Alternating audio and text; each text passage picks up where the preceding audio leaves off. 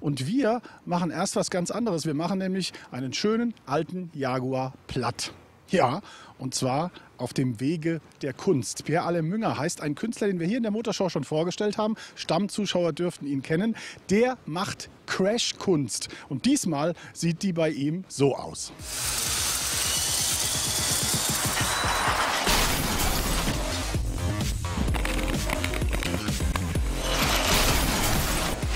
Ein gewaltiger Einschlag.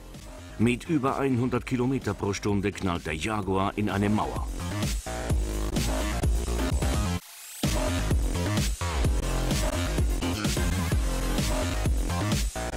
Zum Glück handelt es sich hier um Kunst. Pierre Alain Müngers Werke drehen sich immer um Crashs. So auch sein neuestes Werk. Also das Ergebnis ist äh, sehr gut gekommen. Und ähm, wir haben jetzt Geschwindigkeit auf knapp 110 km/h gehabt. Und das hat natürlich äh, schon einen kleinen heftigeren Abdruck gegeben als mit 85.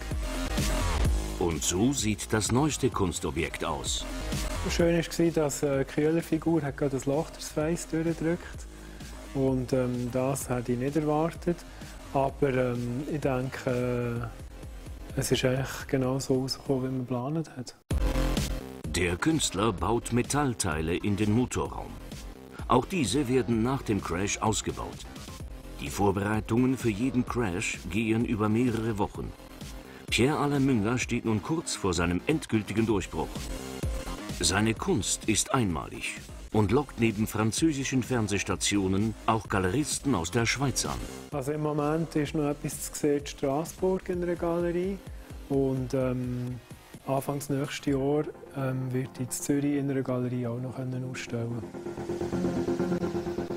Kunst von Pierre Alain Münger wird es nächstes Jahr noch mehr geben. Infos zu Ausstellungen und Kunstobjekten von Pierre Alain Münger finden Sie bei uns unter motorshow.ch.